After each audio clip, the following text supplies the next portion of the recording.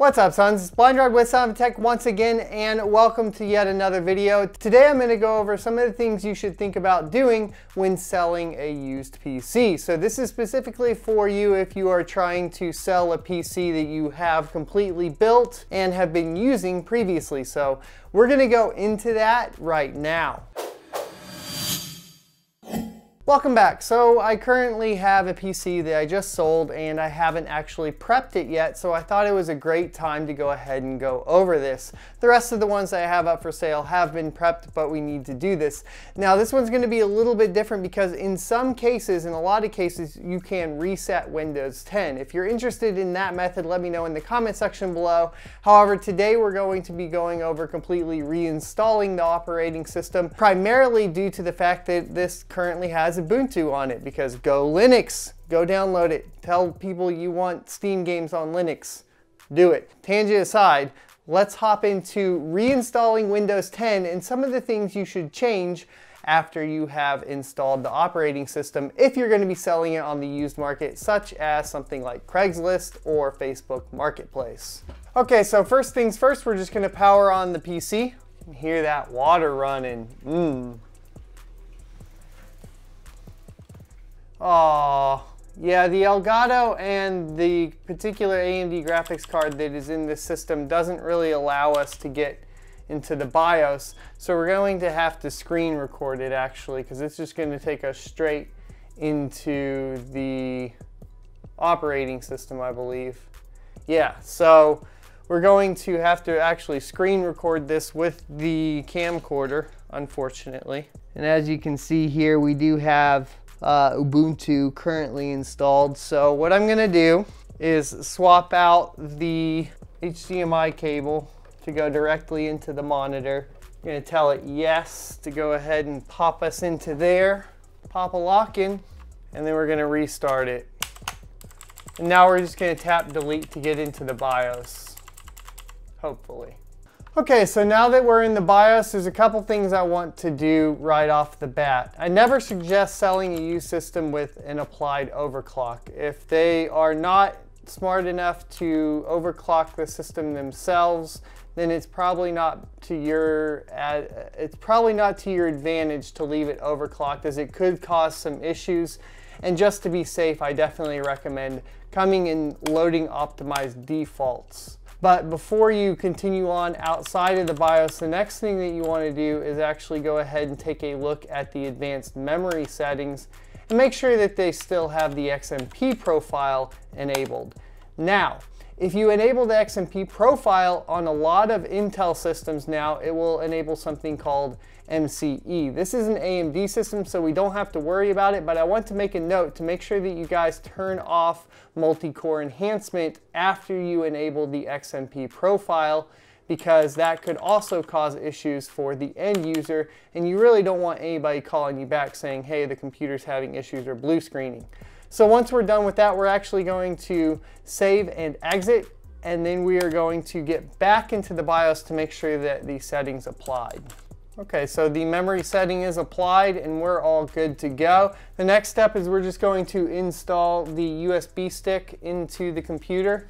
And this should be your Windows 10 USB install device. If you guys need a how-to on how to create a Windows 10 USB install device, let me know and I will go ahead and try to do something for you. I'm not sure if it's needed because there's a ton of how-tos, but if you would rather me do it, just let me know and we can spin up a quick video. For now, just figure out how to make one and continue along. So now we are going to actually save and exit and we are probably going to be tapping F11 to select our boot depending on the motherboard. It should tell you in the bottom left hand of the screen it's F12. So at this point we're going to select our USB stick for partition 1. And at this point, I should be able to swap it back over to the Elgato, but we'll find out in just a second. Let me see if it'll work now. It should. Okay, yeah, it definitely did. So that's awesome.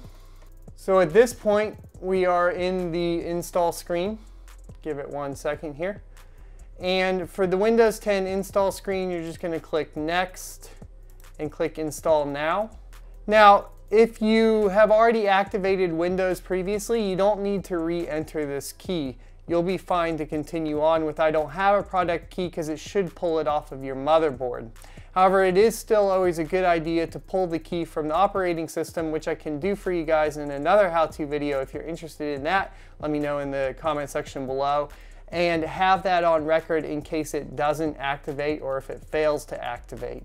You also might have received a sticker with your key if it wasn't a digital license. And so if that's the case, you can also just check your case for it. I'm going to click I don't have one and I'm to select Windows 10 Pro because that's the license that's on this motherboard and click next. Accept the license agreement and click custom install.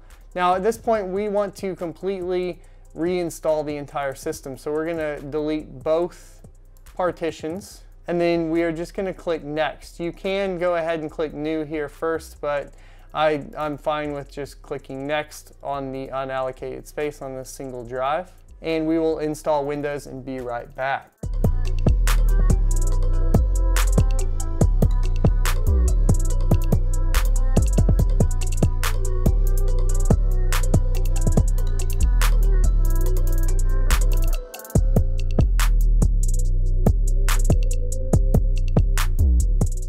Okie dokie, so once you have gotten to this screen, stop, because this is what is known as the out-of-box experience, which is what you want the person you're selling it to to, well, experience. To get past this, you can do Control-Shift-F3, and that will enter you into audit mode. The reason this is important is because we want to get into audit mode and make sure we install all of the drivers along with any libraries or anything like that. And I like to install TeamViewer. TeamViewer is free and you can use it however you like. And the reason I like to use TeamViewer in this particular situation is because if I'm going to have them call and say something's wrong, I can just ask them to open TeamViewer and at that point I can log in and see if anything's going on with their system that I don't actually have to drive back out to their house for, which is always helpful. Okay, so as you can see now we are in the out-of-box experience. I'm going to see if we can get the capture card to work for it. Now that we are in the out-of-box experience, we are going to not use this system preparation tool quite yet. I'll show you guys what to do with that in a second. What we want to do is get the drivers. Primary drivers that I like to always get right off the bat is graphics drivers just because it makes the system easier to work with. So head to whoever manufactures your, your particular GPU drivers, in this case it's AMD, and head on to their website and grab the driver. I think AMD, you just hit the downloads, etc. Driver and support, and we're gonna grab the R9 series, and this one in particular is going to be the Fury series, and we have the Fury Nano in this one. If you want to check this build out, I'll link it up in the corner for you. So now we have Windows 10, so we're going to grab this Windows 10 64-bit version, run save. We're just going to run that real quick. The great thing about selling a PC with a single drive is you really only have to install right away. It makes things a lot quicker. Next thing I want to check while that goes on is the Windows activation by right clicking and going into system and just confirming that everything is honky-dory as far as the product licensing going ahead and activating so I'm happy with that. Actually does look like we ran into an Oh, so in some cases, yeah, you might have to actually go in and click the troubleshoot and make sure that it's activated. Just a heads up, make sure that you get that activated.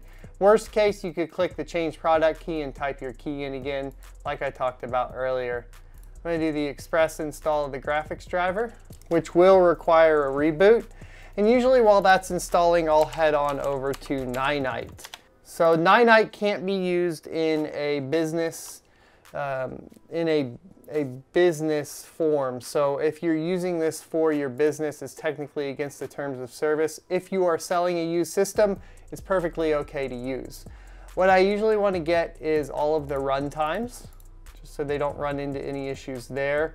I'll usually just check Firefox and Chrome, install both of them, and they can just see it there as they do it. That way we can also kind of try to force them away from using Edge if they're a new user. And usually Chrome is the best. However, you know, just having Firefox on there is good. I use Firefox personally.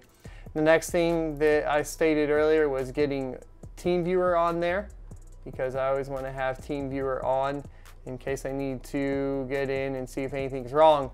Now for my particular audience, they are almost all gamers, if not all gamers. So I go ahead and just install Steam for them right off the bat and then come down here and click get your Ninite. I'll save that and run this.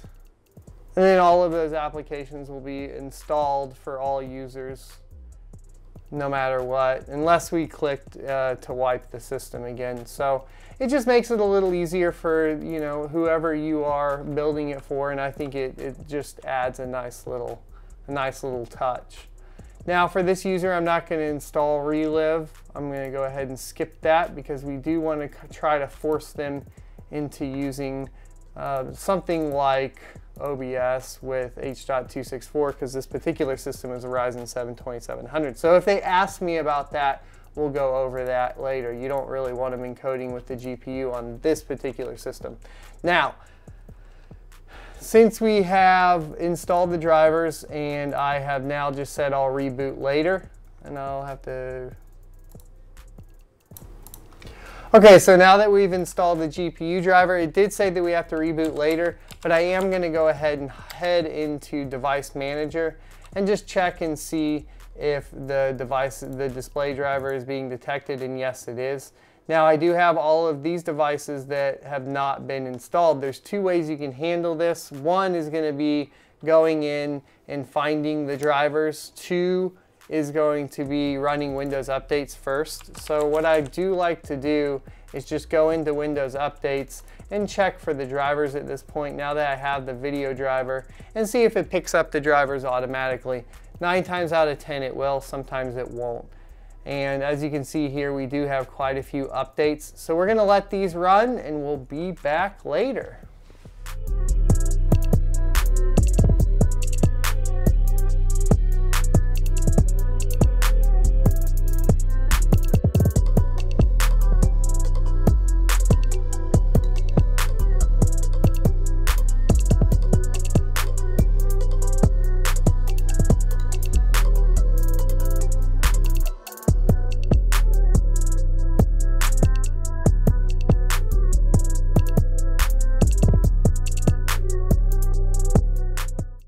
Okie dokie, so now that we have the all the Windows updates, we're going to go ahead and close and restart. Uh, but we can already see here that yes, all the Windows updates took care of all of the drivers.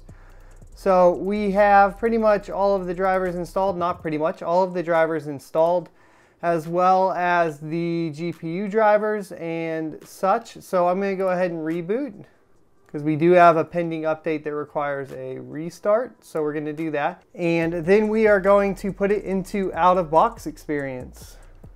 Okie dokie, so everything here spun up just fine. I don't know what display he's going to be using. I will set this to 200% just because it's probably not going to matter because whatever display he's going to choose is going to be different. We can walk him through that if we need to. So finally, all we're going to do is use this system preparation tool while we're in audit mode to put the system into out of box experience. Do not click generalize because that would remove all of the drivers and we want the, this particular system to have all the drivers all ready to go. And on our shutdown options, I'm going to say shutdown and I'm going to pack the system up and deliver it. So click OK. Alrighty, son. So that is going to wrap up prepping a system for, of course, a, a person that you're selling it to. And I think that there's not a lot of people that do that kind of content and just showing you guys my process so you guys are aware of what I do and how I handle it, I think is an interesting journey. Hope you guys enjoyed it. If you did, please hit that like, subscribe, and do the little bell thing down at the bottom. That'd be cool. You can also check out some videos up here or hit the sub button on the actual video itself. Until next time, I'll see you next Tuesday.